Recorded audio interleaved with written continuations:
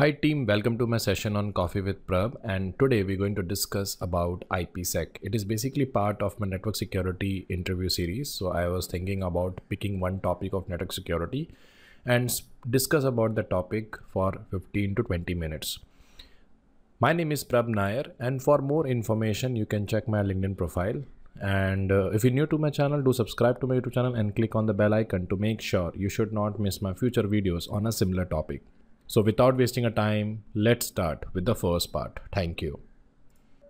So let's understand what is IPsec. So if we go by the definition, it's a IP security or IPsec is a collection of protocols designed by the IETF to provide security for a packet at the network level. It is actually a solution which is introduced to protect the data in transit. Okay, so we have a three states of data. One is basically called data at rest one is basically called data in transit and data in use. So example, if data resides somewhere in a storage, we need to protect, we have a solution for that. But when one system A sending a data to B over the network, okay, so there is a possibility that hacker can able to intercept the data. So I want to protect the data from, you know, I want to prevent the data from getting intercepted. So one of the protocol suite we are using is IP security protocol suite. Now Overall, as I said, it is used to ensure the confidentiality, integrity and authenticity of the data transmit over a different type of network. Okay, so example like we have a system A and we have a system B. So we have a data here. So what we did is data is basically protect with the key. So we have encrypt the data. So data will remain encrypted throughout the journey and it reach B and B will basically use the same key to decrypt the data. So by this way it offer the confidentiality. It also offer integrity authenticity, how we'll discuss in a later stage. Before we're going to discuss about IPsec in detail, let me tell you the IPsec family. In IPsec, we basically have a three important component. One is basically called as a protocol. One is basically called as a modes. And one is basically called as a key exchange. So when you're talking about the protocol, protocol we have a three type. One is called two types, sorry, AH and ESP. When you're talking about modes, we have a two modes in IPsec. One is called as a transport mode and one is basically called as a tunnel mode. And the key exchange is basically achieved through ISA, KMP, Oakley and SEA, SME. So these are the some of the parameters we have for data encryption. It basically use AES and for the key exchange it used Diffie-Hellman along with that for the hashing is basically use the SHA so this is basically the primary goal of IPsec or primary component of IPsec so ultimate goal whatever the data we are sending over the network it should be protect from unauthorized disclosure unauthorized modification and giving an assurance that it is coming from the right source. So the first thing we're going to discuss in the IPsec is the protocols so the first protocol that we're going to discuss in IPsec is AH. So AH is designed to authenticate the source host and ensure the integrity of the payload carried in the IP packet. How? Example like we have a system A and we have a system B. Okay, so this is basically my data. So if you see the statement here, it is clearly mentioned. The protocol use a hash function. So what we used to do is we create a hash value of the data we generate the hash value. Hash value is represent the integrity state of data. So example, right now the time is basically 638. So at 638, the data was formed and this is the hash value of the current state of data. Is it clear? And then this hash is basically encrypted by the symmetric key. And we append the AH header as a signature into the data. And when we send this data to B, when B receive the data, they will see the AH header. So first AH header will be decrypted by the secret key. Then they get the hash. So that is an assurance that this is come from the A because B already have that same session key which A has. So that give the assurance it came from the A. Now we have to check the hash value. By check, we checking the integrity state. So we scan the data and check for the hash and compare this hash with this hash. So if it's same, it means it gives also the assurance data came without any unauthorized modification. So that is why I call protocol use a hash function and symmetric key to create a message digest which is called hash and insert into the authentication header. That is why AH primary offer authentication and data integrity, but not a privacy because anyone can able to read the data. Is it clear? Because when we when A sending a data to B, okay, so example, someone is sending a data. Okay, so attacker is here, he can basically intercept the data and easily for the user to read the data. It doesn't matter for them what is AH. Is it clear? But if we modify the data and resend, B can able to identify this is not the same data which came from A because it is encrypted by the unique keys. So AH primarily offer the authenticity and integrity of the data state. But if you're looking for the complete solution, end-to-end -end solution, then we have a ESP, which basically provide the source authentication integrity and confidentiality. So example like we have a system A, we have a system B. This is basically my source. This is my destination. So far what we have learned is we have a data to give an assurance it is coming from A and with the integrity state we add the AH header. But then what happen is they basically encrypt the entire data into a new packet. And then it basically sending that encrypted data over the network. Now if there is an attacker if you monitor and you capture this they cannot able to read anything on that. So it already having a authentication header which providing the authenticity which capture your integrity hash value which provide the integrity and also encrypt the entire data. So it provide the source authentication integrity and confidentiality. So esp authenticating the data are added at the end of the packet. So ESP protocol was designed after the AH protocol was already in use. So first we introduce the AH and when we discover the issue in the AS, then only we introduce the ESP. So same example we have, we have a data, then we have a AH header and then we have a IP. This is the external IP which is used by the router by which they are routing the information. But in this case data, then encrypt the data, then we adding the external IP by which the routers can able to communicate.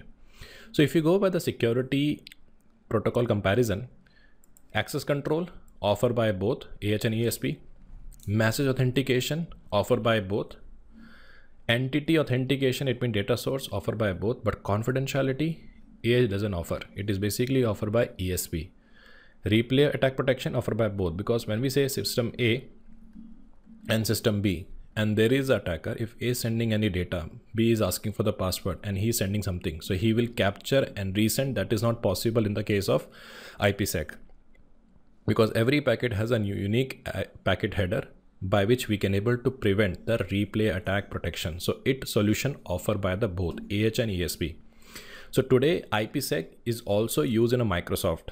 It is used in a Linux in a form of policies. How? Example like we have a, a domain controller and here we have a switch.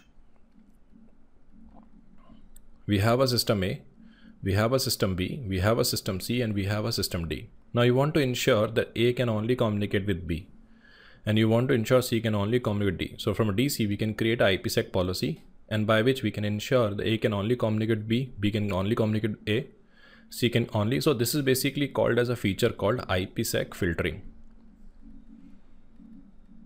Another important feature which IPsec offer is port security. Port security. What is port security is suppose uh, we have a server here, web server so from a domain controller, we apply the IPsec policy that they can able to access, they can able to access by a port number 80, but if they try to ping on ICMP, that will be blocked.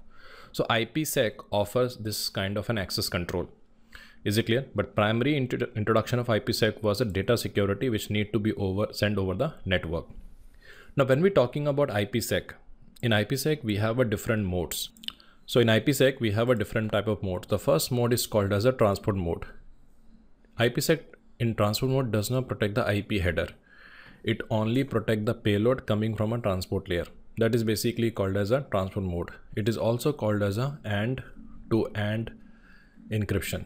So this mode is used when we need to communicate between host to host. Example, we have a system A and we have a system B. Okay, here we have a firewall. Here we have a firewall. So this mode is basically happening between AND to AND host.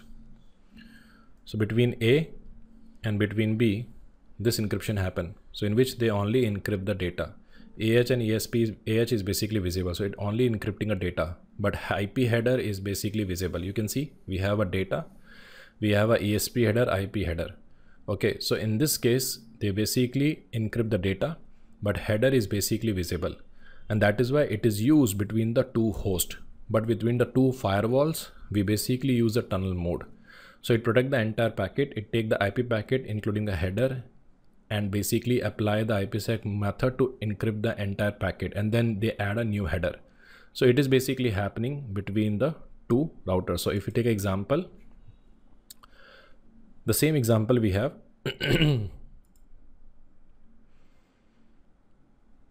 so this is basically called as a transport mode. And between these two routers, we basically have a tunnel mode. That's why tunnel mode is called as a link encryption, which is happening on the layer 2 and transport mode is basically happening from application to transport layer encryption, which, which is also called as a application level encryption or and to and encryption. Okay. So if you can see the packet header size and types, so we have a data which is only encrypted. Rest is basically visible. But in this case data is encrypted along with the ip header is also encrypted. So definitely tunnel mode is basically offer better security. Now in which condition we use tunnel mode? So company want to create a secure tunnel between its headquarter and remote office. They would use tunnel mode the government agencies they want to create a secure tunnel between its headquarters and embassies around the world. They will use tunnel mode. The bank want to create a secure tunnel between headquarters and atm they will basically use the tunnel mode. Along with that we have a case studies where the transport mode is used. Example user want to securely access the work files from the home. They will use transport mode. The user who want to securely connect to the remote desktop they will use transport mode or user want to securely send an email would use the transport mode. But the question is, what is the key by which they encrypt the data? So we have a third important component in the IPsec, which is called as a IKE, Internet Key Exchange. So it is a protocol designed to create both inbound and outbound security association. So IKE is basically the complex protocol, which is based on the other three protocols. One is basically called as a Oakley, one is called as a SKEME and one is basically called as ISA KMP. So first is basically called as a Oakley. Oakley is basically called as a key creation protocol. Okay, so you can say we have a stadium, okay, in which we need to play cricket. So Oakley are the players you can say, okay, who want to play cricket, which is used with the ISAKMP. ISA KMP provide the infrastructure, like what is the mode, what is the key and what is the algorithm we have to use. But when you're talking about SKEME, SKEME basically stand for Secure Key Exchange Mechanism. So it was an alternate of ISAKMP. So today, if you take example, ISAKMP is used for negotiation. It is basically used for establishing a security association and securing the connection between the IPsec peer okay which specifying the network for key exchange authentication and oakley basically used for the key agreement or exchange and define the mechanism used over the IKE session for the key exchange and Diffie-Hellman is the default algorithm they basically use. So IKE is a part of IPsec, okay, a suite of protocol algorithm which is used to secure the sensitive data transmit across the network. So that is what we have. So key encryption, what is done, it is basically done through the IKE, which is a combination of ISAKMP and Oakley. So Oakley are the players. ISAKMP is basically provide the infrastructure. By using the infrastructure about key modes and algorithm, Oakley basically exchange the process. So this is all from my side. Do let me know how do you find this uh, parameter. And one more important thing I want to add here is when you talk about IKE, it defines the several packets, protocols, parameter, which basically allow the IKE exchange to take place in a standardized format to create a security association. So these are basically the parameters we have that we need to consider.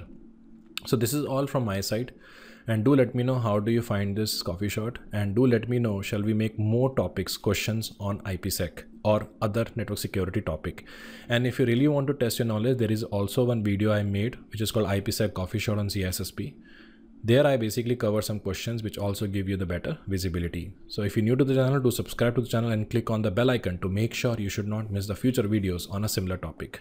Good day. Bye.